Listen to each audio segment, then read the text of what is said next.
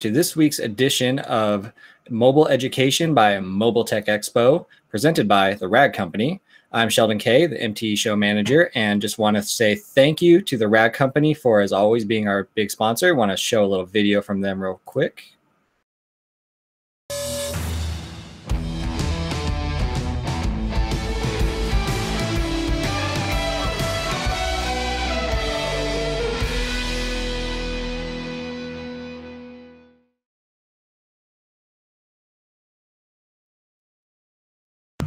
All right. Thanks again to the Rag Company. So today we have bulletproofing, pandemic proofing your business presented by Yvan Lacroix. So Yvan, thank you for being here and go ahead and take it. Well, I'm happy to be here uh, and happy to be part of this educational series put on by Mobile Tech Expo and our friends at the Rag Company. Today, we're going to be talking about pandemic proofing, or if you prefer, bulletproofing your business. Now, the pandemic is about a year old, and a lot of you have lived through it and actually strived through it. And that is a great thing. Uh, before I go any further, by the way, feel free to ask questions. We are here to answer questions. I don't have that long of a presentation, actually, but nonetheless, I'm here to answer your questions. And if I don't get to your questions during the live presentation, I will definitely read through all the questions and write an answer later on. So once again, thank you very much for joining us. And here we go, pandemic proofing your business. The first part of pandemic proofing your business is making sure that your business is efficient and making sure that your business is actually a business. Now, in that, I mean, you need to have profitability. And if you don't have profits, you don't have a business. If you were to be sick tomorrow or for a week or want to take a holiday for two weeks. Would your business survive? Well, if the answer is no, you're definitely not pandemic proof. But if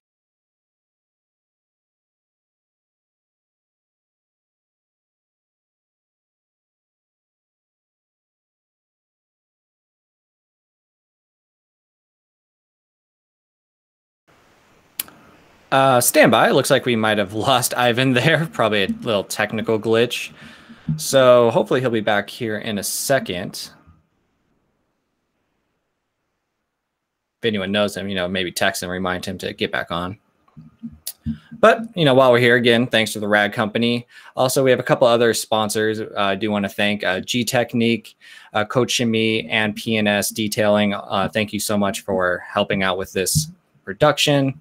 And, you know, couldn't do without you guys. So still no Yvan.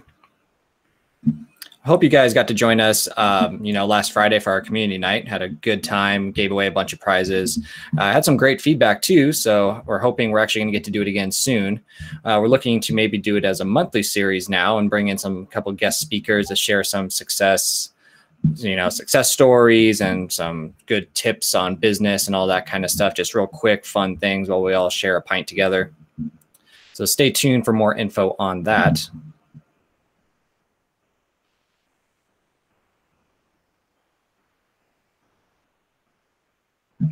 And unfortunately, I don't know any jokes or anything. Oh, and Yvan is back. Bring him back in here. He's back. All right. I'm going to get. Oh, thanks, Yvan. Where did I leave off? Know exactly where uh, where I was when I left when we lost me. So if you could uh, let me know, Sheldon, that would be great. Or actually, I'll just start from the beginning. Uh, so once again, Yvan Lacroix here, Detailers Business Academy. Happy you're with us. And if you have any questions, please write them in the notes below.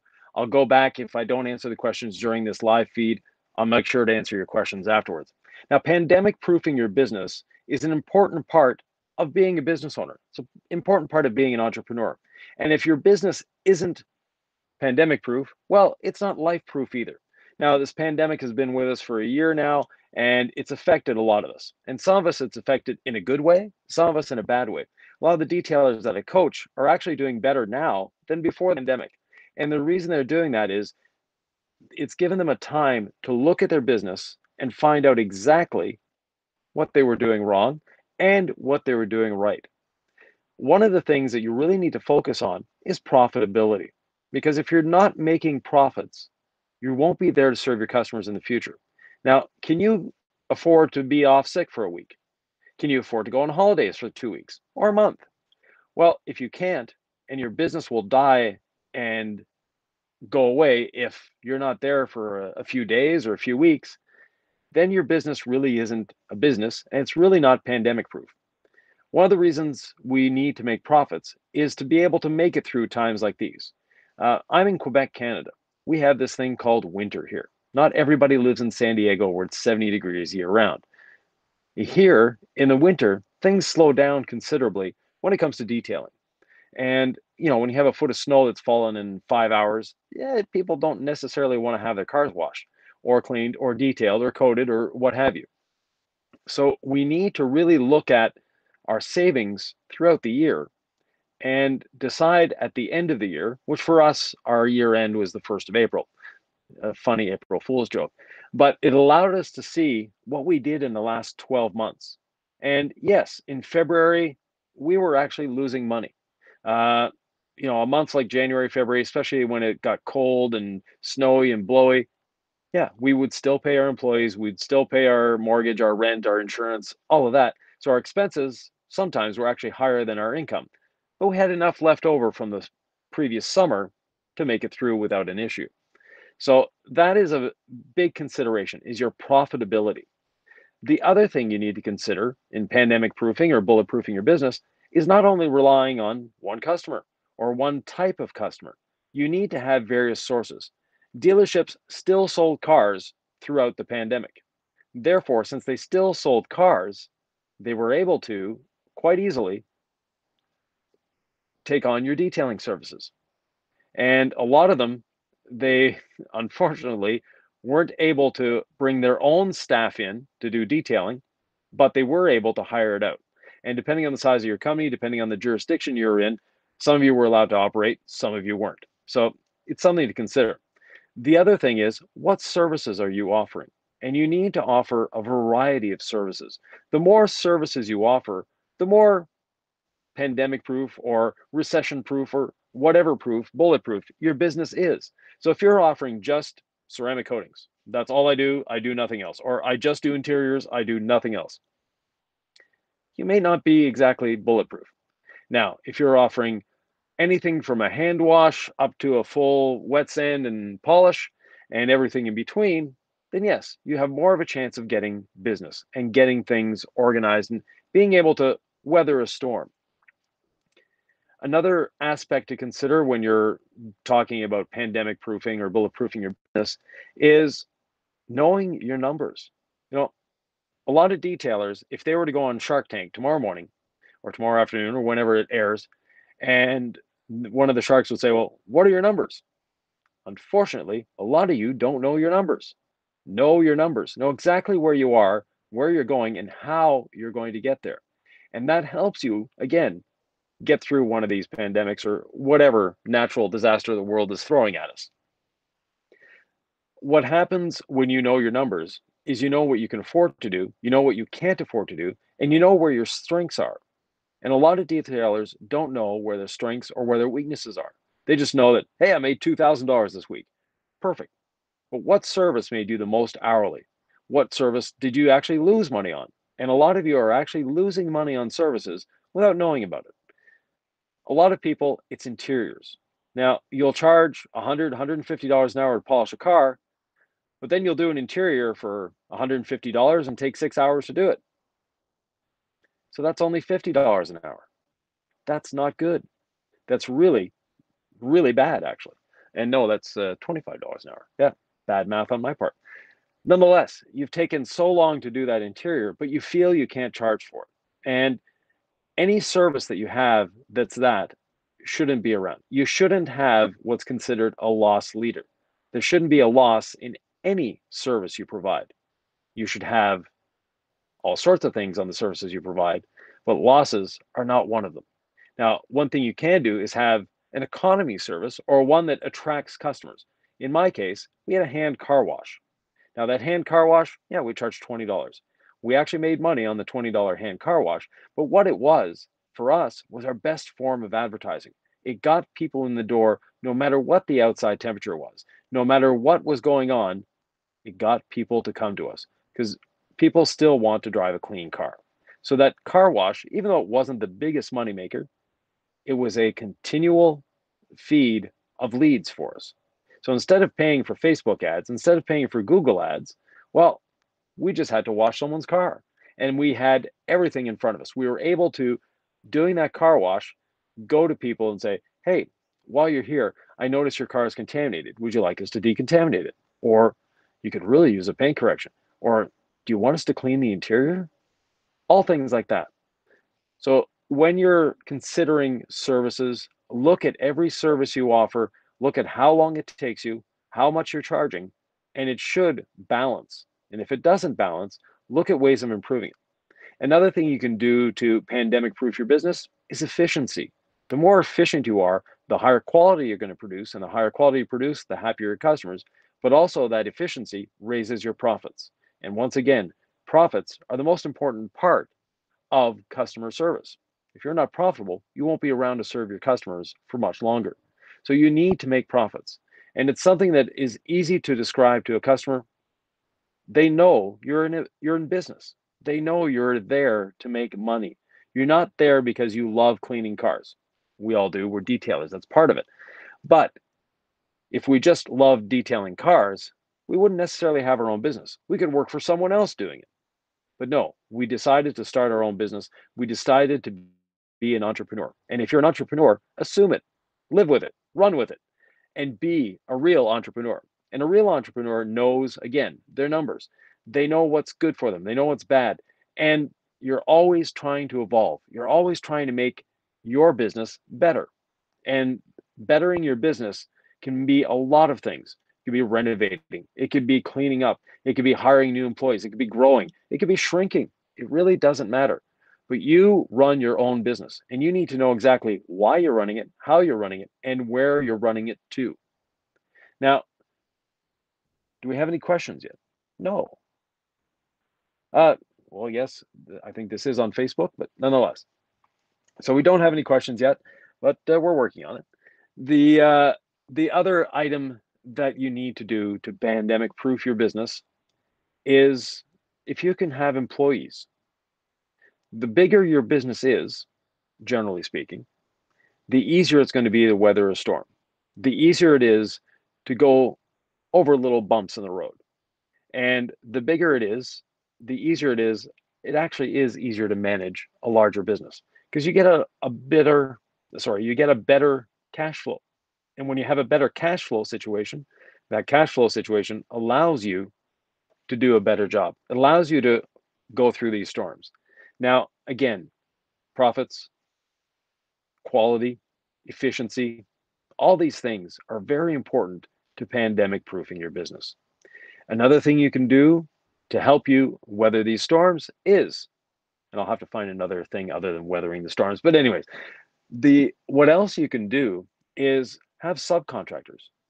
If you have a shop and you're paying rent, but you have a mobile another mobile detailer in the area, you have a PDR guy, you have someone doing um, window tinting, PPF, whatever services you don't offer, offer them, offer to sublet part of your shop to them and have them as subs. And having subs and offering more and more products to your customer, even though you don't have to physically do it, but you just know a guy that does and bring that person in. And when you bring that person in, you make profits on them they're happy because now they have a warm roof to work under or a cool roof, depending on where you are. And it allows them to carry their business through and allows you to carry your business. Another aspect, especially for mobile detailers, uh, when pandemic, especially when dealing with a pandemic, people are concerned about cleanliness. People are concerned about spreading the disease, obviously. Uh, so in that case, or spreading the virus in our case. So when you're talking about that, you need to clarify with your customers that yes, our business is pandemic proof. And pandemic proofing your business or virus proofing your business means that you take the precautions necessary put forward by the CDC. And those precautions I know that there are some people that are non-believers in the pandemic. Uh, some people think it's a hoax. Whatever, whatever your beliefs are, that's fine.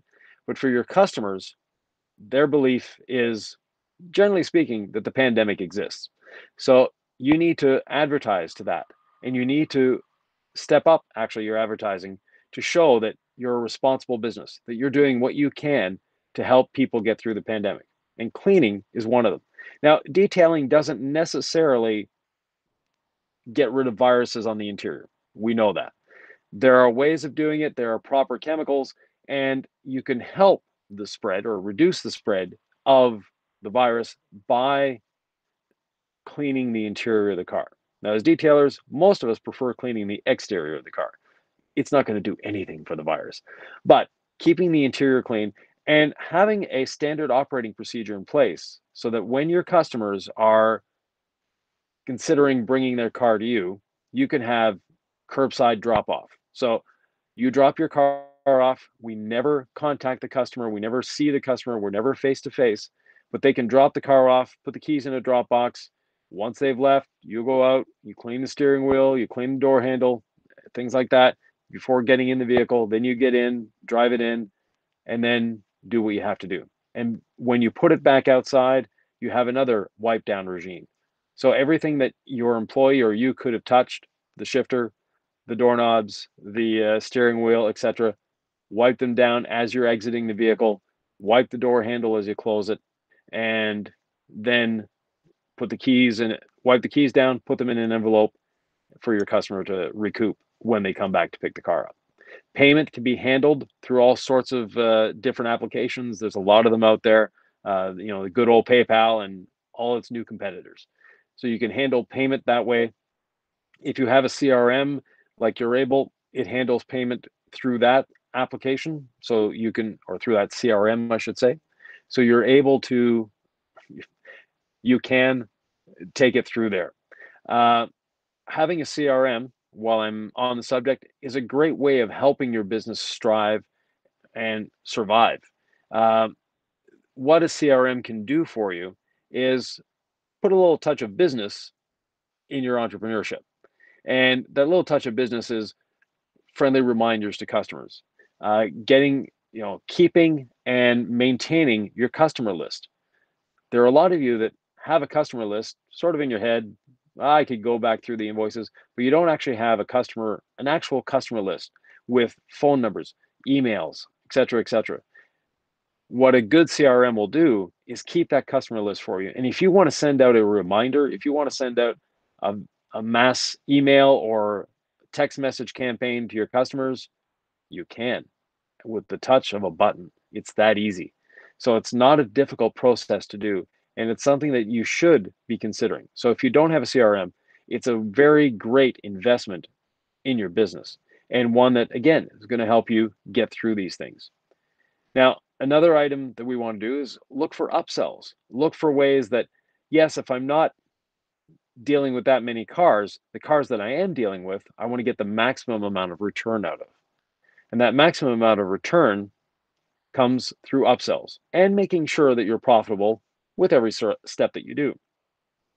An easy upsell, obviously, is interior uh, decontamination at this time.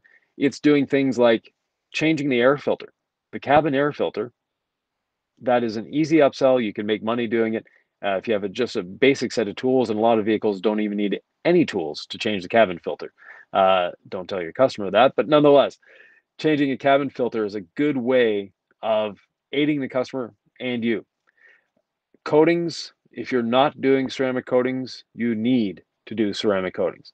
Even through the pandemic, when people were freaking out and had stay at home orders, they were still getting their cars coated.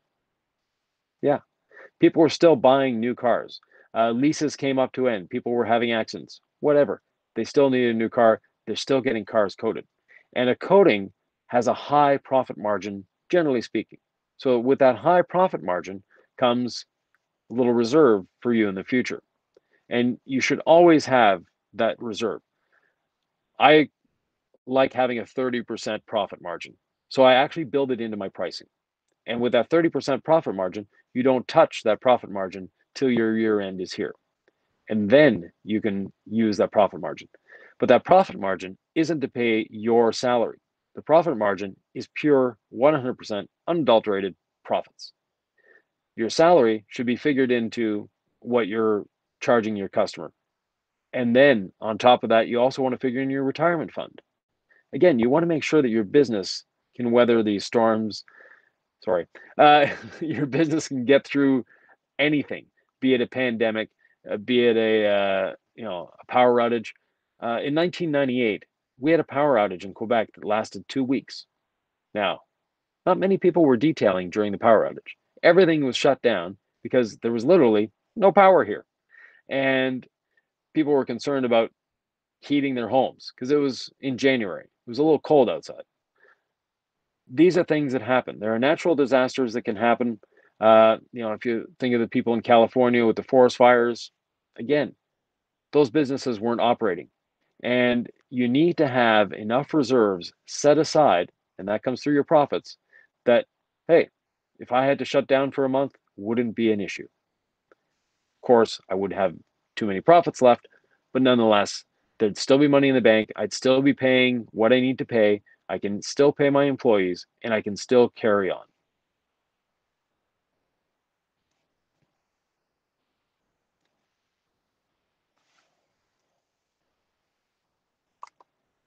Um, just trying to refresh my screen here. Okay, so at this point, this is when I ask you for questions. And if you don't have any questions, I don't have much more to say on the subject. Uh, basically, pandemic proofing your business is just being a good, solid business owner. It's being forward in your thinking. It's not being closed on different things. Uh, it's being able to move forward, even though you don't have means to move forward. And accumulating those means, getting that money, saving it up is a big part of it. And then offering different services, offering things that nobody else is thinking of offering. Uh, and it's a good way to reinvent yourself sometimes. And worst case scenario, it's time to clean the shop up. It's time to reorganize your mobile rig.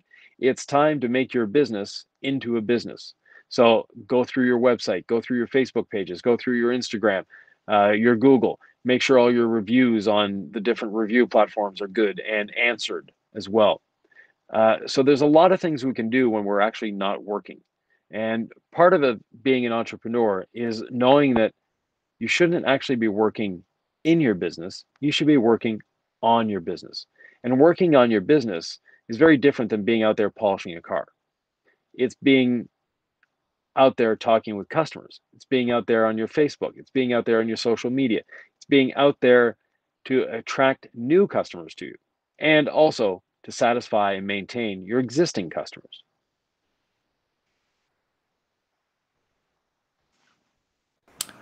Hey, mean, it does look like we got a question. Um, Tug asked, could you elaborate on how you would sell a coating?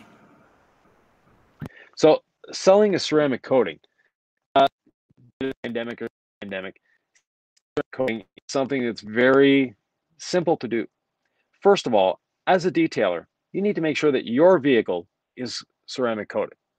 Because if your vehicle is ceramic coated, you'll be able to understand and also talk to the customer about the benefits of a ceramic coating. And as a detailer, we think the benefits of a ceramic coating are, ooh, the paint is glossy and it beads water. For the customer, that's generally not the benefit. The biggest benefit of a ceramic coating for most customers is time savings. They're saving time. They're not having to bring their car to the detailer every three months to have it waxed. They're not having to wash it as often. Their car, even when it's dirty, still looks better than some clean cars because of the ceramic coating. The other thing a ceramic coating does for a customer is it protects their investment. Now, a vehicle is normally the second biggest investment any of us make. And if we were to take a car, drive it off the dealer's lot, and for three years, never change the oil. The day before we go to trade it in, we go to Jiffy Lube, have them change the oil, the check engine light goes out, we return that car to the dealership, it's not worth a penny less than had we change oil every 3,000 miles. But don't maintain your paint for three years. do nothing. Then just go to a car wash, have them wash it and take it to the dealership. And you'll see just how money how much money you've lost because of the because of the vehicle looking bad. So a ceramic coating protects their investment. A ceramic coating saves the customer time. And those are the two biggest concerns for most customers. Now, as detailers, sure, it's shiny, it's glossy, it's slick, it beads water like crazy. Those are all nice things. But generally speaking, they're not exactly what your customer wants or what your customer desires. And as detailers, we also have a tendency to go over and above on a lot of things. And one of those over and above things is polishing the vehicle. A coating doesn't need perfect paint to be applied. So any vehicle is a candidate for ceramic coating. And if you take that into account, that any vehicle can be a candidate for ceramic coating, that opens a lot of things up. Of course, you have a you know a car that's worth three thousand dollars, you're not going to put an eighteen hundred dollar coating on it. But on the other hand, you can have a lower cost option and get the customer intrigued. And part of being a coating customer is knowing that that coating, what it does for you. Now, if you have employees, this is a great way of training your employees for ceramic coatings and also for sales. What we would do in our shop is after they pass their probation period, we would actually ceramic coat half the employee's car, not the whole car, just half of it. Then let them drive around like that for a few months any one of my employees could sell you a ceramic coating without even thinking about it because they weren't selling anything to you. They were explaining in their own words why it's the best thing they've ever had on their car, why they feel that a ceramic coating is the best protection you could do. It's the best investment you could do to your car in the long run because they lived it, they saw it, they drove through rain, they drove through snow, uh, they washed their vehicles. So do the same. If you don't have a ceramic coating on your car, hey, very easy. Put it on half your vehicle only and then drive it around that way for a little while.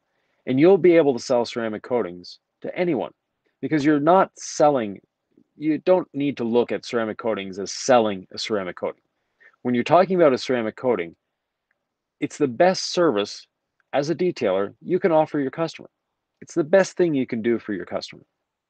And being that way, you should be very enthusiastic about it. Now, I'm not talking about Ronco Popeil enthusiastic about, hey, how much for all of this? No, you need to be enthusiastic, maybe not quite that much, but you need to know what you're talking about. You need to know your coating. And if you don't have coating on your own vehicle, how can you propose it to a customer? That's awesome advice. I love the idea of the half coat. Um, we do have another question here. You were talking about CRMs. Uh, Glenn was asking, what exactly is a CRM? Customer Relation Management Software. So a CRM does a lot of things for you. Uh, one of the things that a CRM will do is assist you in running your business and assist you in that relationship with customers. So, an example, uh, Urable, one of the CRMs that I like to use it does a lot of things for the detailer. One of the things that it does is it tracks all your customers. So that is from a business aspect, that's great. Secondly, it can automatically uh, send a message to the customer before their detail to remind them that, hey, you have a detail coming up at this date, at this time, just confirmation. The other thing that it does is after you've done the detail, it will send another email to the customer or text messages, whatever the customer chooses, by the way. It will contact the customer and say, Hey, are you happy with the detail? And if you are happy with the detail, could you kindly leave a review here and provide links to your Facebook, your Google, what, wherever you want reviews left? The other thing that it does is with every service that's offered. So let's say you're doing a just a wash and wax package. Well, we know that wax doesn't last longer than three months. So you can program into that that after two and a half months, your CRM automatically contacts the customer and sends them a friendly reminder that, hey, you had your car waxed two and a half months ago and wax lasts three months. So we'd like to schedule another appointment with you to make sure you're keeping that protection. That's what a CRM can do for you. It basically takes away the, the little mundane tasks that we all know we need to do and we all know we should do, but a lot of us don't do because it takes a lot of time. That's good. Um, Zen Auto Detailing was asking when should a mobile detailer consider moving to a shop? The day they start detailing. Uh, now, let me explain that. A lot of mobile detailers have the impression that a shop has a lot of overhead. And yes, a shop has a different type of overhead than a mobile business. Now, a mobile business, I ran a mobile business for years and I ran both shop and mobile. They both have their good points.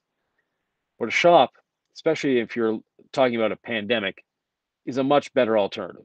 Now, the reason it's a better alternative is in a mobile situation, you have much higher overhead, generally speaking, than a shop. Now, your overhead is very different. In a shop, your overhead is fixed cost, your overhead is rent, your overhead is heating, is lighting, is all those things. In a mobile situation, your overhead is calculated in negatives. I lost an hour in traffic. That's an hour I didn't make money. I lost half an hour setting up, tearing down. While I was detailing the car, the landscaper came by. I had to start over again, etc., etc. It rained, it snowed. All those things make it so that you can't work or detail 40 hours a week. If you own a shop and let's say your hours are 8 to 5 Monday to Friday, well, you can show up at 7:45 and be working at 8 o'clock in the morning. And at 5 o'clock, you stop, and at 5.05, you're on your way home. Whereas a mobile detailer, let's say you approach your van at 7.45 in the morning. By the time you drive to your first customer, what time is it? Then you need to set up, do the job, tear down, move on to the next customer. How much time did you waste setting up, tearing down, and moving to the next customer? That is time that you're not making money. And unfortunately, customers don't take mobile detailing quite as seriously as they do a shop. And in doing so, they expect a mobile detailer to charge less than a shop. And in a shop based environment, we can do gain time. And it's something very familiar in the automotive world, be it body shops or mechanics, is that if the book says this is supposed to be a four hour job and you can get it done in two, well, you still get paid four hours.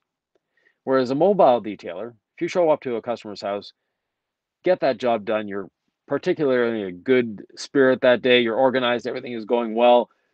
The customer thinks it should be a four hour job and you get it done in two the customer all of a sudden is going, hey, wait, I thought I was paying you $50 an hour, and now it's $100 an hour. Something's wrong.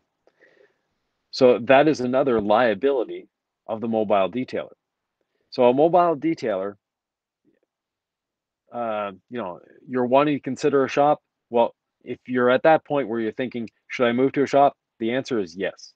Uh, and when you're looking at a shop, you know, the shop is one part of it. Another part of it is what are you where is the shop located uh, if you're in the back 40 of an industrial mall you're going to have to do a lot of advertising to get people to come to you now if you're on a prime retail location yes you're going to pay more rent but you're going to spend a lot more getting people to come to you uh, my last shop was sandwiched between a hyundai dealership a volkswagen dealership and i had a ford dealership across the street it was a great location I didn't have to advertise to get people to come to my door. They naturally came to our door. It was the busiest road in town, and I was smack dab in the middle of all the dealerships. So, yes, I paid more for it, but it was definitely worth it in the amount of savings that I had. So, when you're looking at a shop, be careful not to pigeonhole yourself so far into a uh, you know a back 40 area that customers can't find you, get to you, etc. The other thing is, especially if it's your first lease, make it a short term lease. The reason you want to make it a short term lease is a lot of people generally don't, or a lot of people underestimate what, how much that people underestimate how much space they're going to need and how fast their business can grow if they want to grow it. So if you have space for one vehicle and you have the capacity of doing two or three a day, you'll want more space. So that first lease, when you're going for it, make it a short term lease. Any other questions? Uh, yeah, Tug was asking, how do I offer an interior detail price in person when the customer never takes them up on it? So I guess how do they come up with that price when they just never get anyone to actually do it? I think is what he's saying. Uh, a few things. Your presentation may be a little off. Uh, the other thing is, it's actually a very good thing to do a, a, a one-on-one estimate with the customer, and you can point out without being rude and without going, "Ooh, you got McDonald's French fries between the the steering, or you know, between the uh, console and the seat." Ooh, I don't eat those things. Nonetheless, you want to point out what you can do for the customer and be enthusiastic about it. Tell the customer, "Look, we're going to do our best deep cleaning on your vehicle. We're going to make it as good as it possibly can be, and sometimes as good as new." The other thing is if you're having problems closing your sales, you know, instead of watching things like this, uh, you should be, you know, reading books on selling. You should be reading books on closing. You should be reading books on being a business owner and looking at those videos because the the detailing aspect of it we all have down. It's not difficult to clean an interior of a car. It's not difficult to polish paint. It's not difficult to apply coatings. In fact, just about anybody can do it. But where we strive, we're we're a business, is we're as I mentioned before, we're saving the customer time. We all know anybody can wash and wax their car. Why do they come to a detailer? Because they don't have time. Take a lawyer, charges $200 an hour. So for him to wash, wax his car, if it takes him two hours, that just cost him $400. If you charge him $100, he saved $300 by having you do it. And if you think your pricing is too high, it probably isn't. What again, what your concern should be is how am I presenting it to the customer? How am I selling to the customer? And are you doing a follow up? So once you've had the customer in front of you, always try to capture at least their cell phone number, if not their email. And then after they come to you, send them an email. Say, hey, thank you for coming in.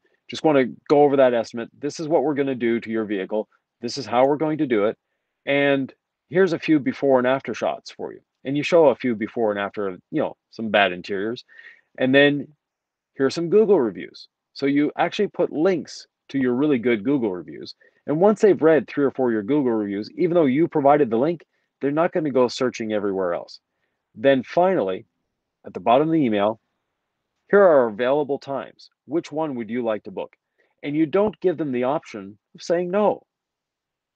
The option is these are available times. Which one is good for you? So it's a selling is a different mentality. Selling is part of being a business owner, it's part of being a detailer, it's part of being an entrepreneur.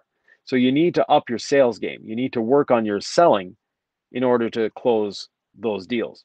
Now, you might be sorry, not too expensive, but if you consider your prices too expensive, so will your customer.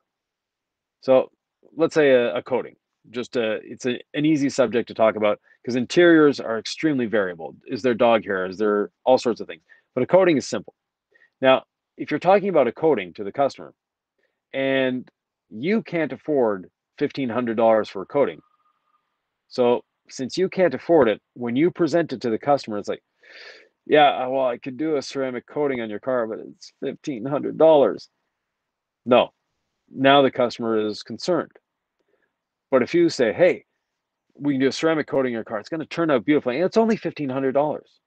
That attitude shift makes all the difference for the customer because now you are part of that deal. You are enthusiastic about it, and it's only $1,500, meaning that you feel it's a good value. So, your interior detailing, you need to feel before any customer will feel that it's a good value and it should be a good value. Next. We have one from Rob. Uh, when detailing interiors, should he feel obligated to remove the seats if the vehicle needs it? Uh, he's concerned about time, liability, and then the space in his garage. Uh, concerned about three great things. First of all, time. No, no vehicle actually really needs the seats removed.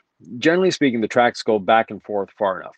And if the carpet under the seat is that bad, you might want to refuse that detail or tell the customer that, hey, you know, I can't necessarily get all those stains out.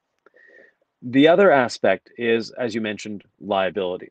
And that liability is very, it's very real. It's very true. So if you have a customer that says, I want you to remove the seats to detail it, perfect. Before I remove the seats, you're going to go to the dealership, you're going to buy new bolts because most of the bolts holding seats down are yield torque to yield, meaning that they're used once and only once.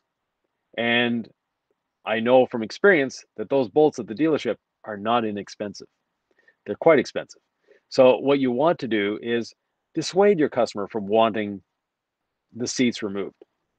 And also another thing is, generally speaking, under the seats, yeah, a few things got under there, but you can get at it with the proper tools.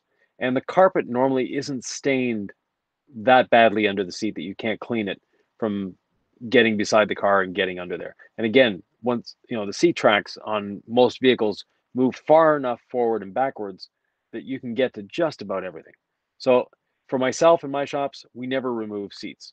It was just something we didn't do because of the time, because of the liability, because of the space, and it's really not necessary. Next. Uh, again, from Zen Auto Detailing, do you have any personal recommendations to get better at selling?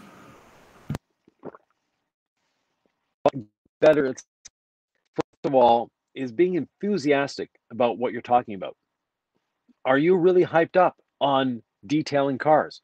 Are you really satisfied with the results you're providing your customers? Are you satisfied with the coating you're selling them? Are you satisfied with what you're doing? And if you're not, then that needs to change. But you also need to be able to read the customer. And being reading the customer means what's their attitude? Sometimes I've seen detailers that go on and on and on and on and on when the customer was ready to say yes 10 minutes ago. And other times the customer is never ready because they're just tire kickers and things like that. So you need to be able to read the customer to make sure that the customer is following what you're wanting and also what you're you know what's happening with that customer the other thing is when you're selling and this goes to advertising and marketing your advertising needs to show that you're enthusiastic you know i've seen too many detailers videos where they're literally standing there and they're afraid of the camera and you can tell they're afraid of the camera and it's like well come to joe's detailing we'll make your car look like really good no. Think of those really annoying commercials. You know, the, the Ginsu knife commercial. Well, the reason the Ginsu knife commercial was popular and the reason they sold a lot of those damn knives was simply because the presentation was over the top, was enthusiastic. For those of you that are a little older, remember the Ronco pocket Popeil fisherman? Yeah.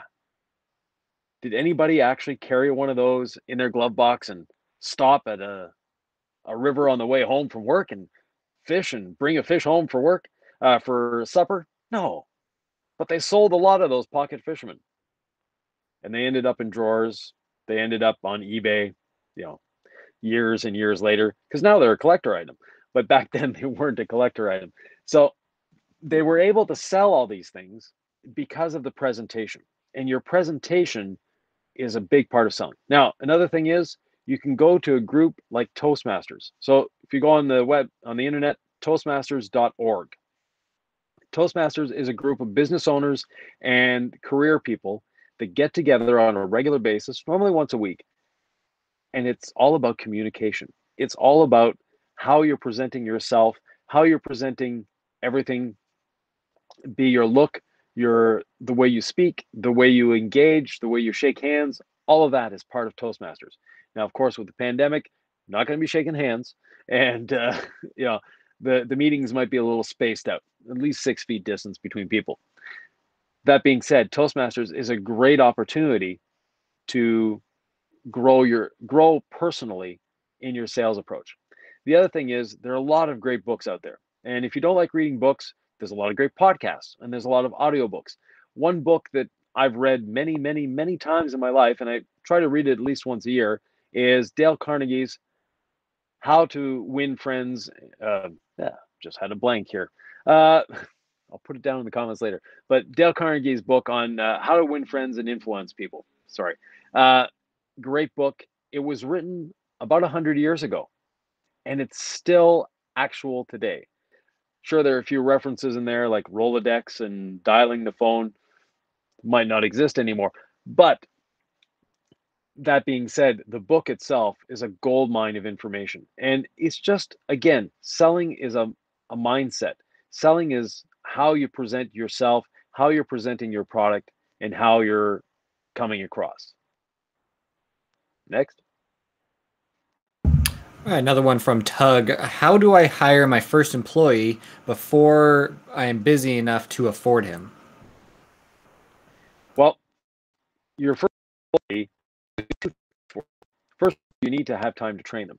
But the next part of it is if you're considering hiring an employee, that means you probably have enough work or close to it. The other aspect of that is when your employee is in the shop working, you can be selling. You can be working on your business instead of working in your business. So you can be answering the phone when it rings instead of letting it go to voicemail. You can be returning emails immediately. You can be going forward and doing marketing. There's a lot of things you can do to work on your business instead of working in your business. And when your employee is now taking over the washing, taking over the polishing, taking over those items, that frees you up to be an entrepreneur instead of a detailer. So if you're considering hiring an employee, do it. Now, where do we find employees? I never hired anyone that was looking for work. I had a very weird way of looking at it. I was a great headhunter. So if I go into a restaurant and I get great service from the waiter, I'll try to hire him because detailing is something that you can learn quite easily. And you can start someone just washing the car and then, you know, add skills as they go along. But just having someone to wash the cars for you is going to save you a lot of time. So it's something that if you find, you know, go to the hardware store and the person there is just exceptionally talented, knowledgeable, and they know what they're doing. Well, those are people that you can, again, headhunt. Uh, the other aspect or the other great way of getting employees is go to a temp agency. Now, a temp agency, you're going to pay a little more, but it gives you a three month trial period to try the employee out. And if there's one day that you decide that that employee isn't for you, you don't tell the employee to walk out. You don't tell the employee to leave. You call the temp agency, they call the employee, and they pull the employee out of there. So if you have reservations about hiring and firing employees, well, a temp agency is a great way of doing it. And a temp agency will not have detailing specific people. So you want to hire janitorial people. If someone is willing to clean someone else's toilets, they'll do great at cleaning someone else's car. That, that's great insight there. Um, we have one more from Mark Kelly. What's a real advantage of a coating if it has to be maintained every three months with a topper that lasts three months? Why not just use a topper without a coating? In other words, why have a sacrificial layer for a coating? And this is really interesting to me because my car is ceramic coated. So I was kind of curious about yeah. this as well. Yeah. Okay. First of all, your dealing income requires you to put a topper on it every three months. It's not really a coating. A coating should last, let's say there's a five year warranty. Well, that vehicle, that coated, should last five years without any toppers. Now, there is maintenance involved. Anything requires maintenance. You don't go out and buy a car today and not maintain it. And the car is a lot more expensive than the coating. But what the main what the maintenance should be isn't adding something else on top. And if your coating that you're selling requires you to add something on top, you may want to consider another brand of coatings. That being said, maintenance. Uh, I'm in the Northeast. I'm in Quebec. We have salt on the roads. Salt basically kills the phobic action of a coating, and it doesn't matter what coating it is. Salt is going to attract. So in the spring, just do a quick, uh, quick wash with a mineral deposit remover, and we're good. The car now beads and sheets again like it should. You, the customer or the vehicle still needs to be decontaminated regularly. Now, what that schedule of decontamination is will be different for every customer. Is a car garage kept and only driven on the weekends, or is it a daily driver that sits out on a construction site every day? So it can be every three months, it can be every six months, it can be every year, it can be every five years. That part of it. The coating itself is a sacrificial layer. And if you need to put a sacrificial layer on the sacrificial layer, then once again, consider another brand of coating. Uh, a coating should not require a topper. Now, if your customer wants to wash it and put toppers on them, great. But most coatings that advertise two, three, five years, that is their lifespan without any toppers. All right. Well, that's all we really have uh, right now. So, do you have any uh, closing remarks or anything? Oh, we're all there. Well, first of all, thank you everyone for participating. Thanks for watching this. And those of you that are watching at a later date, again, uh, I'll get notifications for questions. I'll be happy to answer them. So if you have any questions, please leave them below. Always happy to answer. The other thing is, uh, if you want, if you want to get a hold of me specifically, uh, I've got Facebook feeds. I have YouTube. I've got all you know any social media you're looking for me. Uh, I should be there. Just type my name and I'll I'll pop up eventually. Uh, and once again, on those feeds, I'm happy to answer your questions. Happy to to help as well. Uh, for myself, you know, I'm I'm here. I'm semi-retired. I'm doing coaching to help detailers become entrepreneurs. So if you want to up your detailing skills in terms of detailing your own business as opposed to detailing someone else's car, eh, give me a call. Uh, and you know, the other thing is, I know the uh, that Mobile Tech Expo is a very big partner with the IDA. If you're not a member of the IDA, consider it. The IDA is a big part of our industry. It's growing every year, and the IDA, the International Detailing Association, is really international. And one uh, thing, one little plug for the IDA, the week of June 21st this year is going to be a worldwide skills validation event. So every registered trainer with the IDA, and I'm one of them, is putting on a skills validation testing locally, some at some point throughout that week. So wherever you are in the world, that week there should be a skills validation session close to you. So you can do your certification online, and once you once you're a member, you have your certification online, then you can do your skills validation testing. And if you're asking, well, what's the IDA going to do for me? Nothing. The question you should be asking is, what can I do for the IDA? And uh, hopefully next year, or actually in the fall, when is the uh, Mobile Tech Expo in Vegas? Uh, August 26th through 28th, Las Vegas, Nevada. Very good. So August 26th to 28th, I hope to see you all in Las Vegas. Uh, hopefully the pandemic will be far behind us at that point, or you know off in the distance anyways and we can get together unfortunately uh, we weren't able to get together for mte in uh, orlando this year looking forward to seeing everyone in orlando next year by then definitely the pandemic should be behind us Yep. Well, thank you, Yvan, so much. Uh, this was like really great session. Really enjoyed it. Um, thanks again to our sponsors, the Rag Company, Gtechniq, Coach Me, and P&S. Um, next week, we will continue this series. Uh, again, it will be a Thursday at 6 p.m. Eastern Time. We have Dave Streen presenting Discover the Difference a Little Marketing Can Do for You. So until next time, thank you all for joining us, either live now or you're going to watch us later. And Yvan, thank you again. And I can't wait to catch up with you in Vegas. Thank you very much.